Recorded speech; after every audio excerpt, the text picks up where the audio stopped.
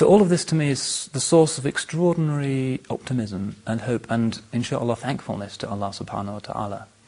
That despite what many of us think, this is an age of extraordinary divine giving, of extraordinary divine hifz and preservation of, of the ummah.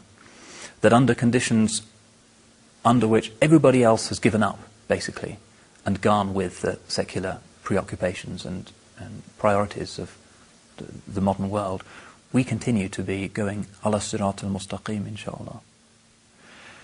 So, my conclusion would be that rida, despite the manifest misfortunes of the modern world and the modern ummah, should be something that is instinctual to us.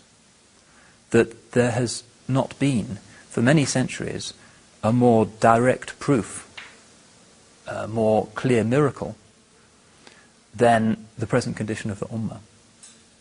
We tend to assume that it's a catastrophe. In fact, in terms of what matters, subhanAllah, it's like a, a gem that may have a bit of mud on it, but the gem is still there. It's a diamond that hasn't been cut and hasn't been rearranged. All we need to do is superficially dust it down in our hearts and in our communities, and the gem is still there. Whereas other people, it's been eroded and rearranged to suit secular discourses until there's nothing left except a few fragments. So we have that gem.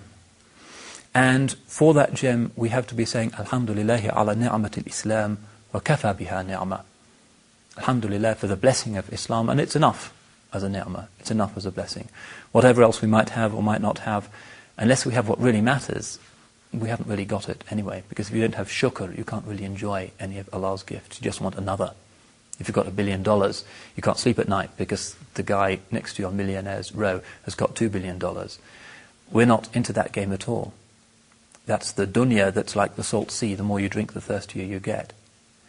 We take what we need, and alhamdulillah for us it's sweet because we give the zakat and it's been purified. And we give thanks. وَلَئِن شَكَرْتُمْ لَأَزِيدَنَّكُمْ If you give thanks, I will give you even more. So we need to maintain this virtue, this virtue of rida, of good pleasure with Allah's decree. And we need to recognize that there is good for us even in God's rigor, just as there is obvious good for us in Allah's giving His generosity, His, his rahmah, the beautiful aspects. Uh, and we need to recognize that the paradigm for all of this is in the lives of the prophets, alayhi those who faced difficulties infinitely more terrifying than those we face in our world, being thrown into prisons, being persecuted, being alone in strange countries, uh, but who did not doubt for an instant because they knew, because they saw hmm, Ra'y al-Ain, the truth, al-Haq. They were not capable of doubt. And we need, therefore, to reacquire this virtue, this virtue of rida. And we need to be saying, Alhamdulillahi awalan akhiran, at the beginning and at the end, it's Alhamdulillah. Because He is Al-Qahir fawqa ibadih. He is the powerful over His servants. And, and, and as it says, Wallahu ghalibun ala amri. Allah overcomes their affairs. Sayyidina Yusuf, Allah was in command all along. And it's the same with, with all of us.